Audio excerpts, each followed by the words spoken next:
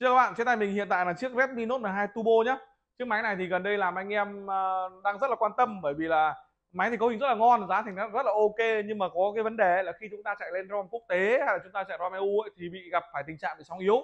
Nhất là đối với simobi hoặc Sivina là chúng ta vào khu vực sóng yếu là gần như không có sóng. Nói chung là tình trạng mất sóng xảy ra rất là thường xuyên, đặc biệt là ROM EU bị rất là nhiều, ROM quốc tế thì đỡ hơn một chút nhưng nó vẫn là sóng yếu so với việc chúng ta dùng ROM gốc đúng không? Cái vấn đề đấy, bên mình bán nhiều máy và bên mình bị kêu rất là nhiều khách hàng đến khiếu nại rất là nhiều và mình rất là mệt.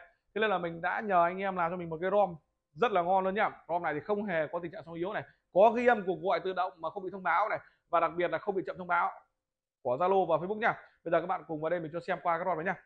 Đây các bạn nhá, rom thì là vẫn đầy đủ tiếng Việt bình thường, giống như rom quốc tế thôi. Đó.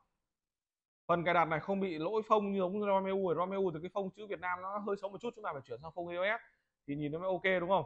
Đó, có ghi âm cuộc gọi tự động nhá, đây là trình gọi điện của MIUI nhá. Ghi âm cuộc gọi tự động và sẽ không thông báo người bên kia biết là mình đang bị ghi âm như trình gọi điện của Google nhá.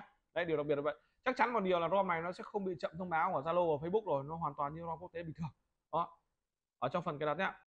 Đây các bạn này, ở trong phần thông số ấy, thì nó vẫn hiện là Redmi Note 12 Turbo chứ không là Poco F5 đấy nhá. RAM 8 GB này, đó. Tất cả cấu hình thông báo ở trên này, phiên bản này là tiếng Việt full hoàn toàn 100% và điều đặc biệt đấy là sóng của nó sẽ rất là khỏe.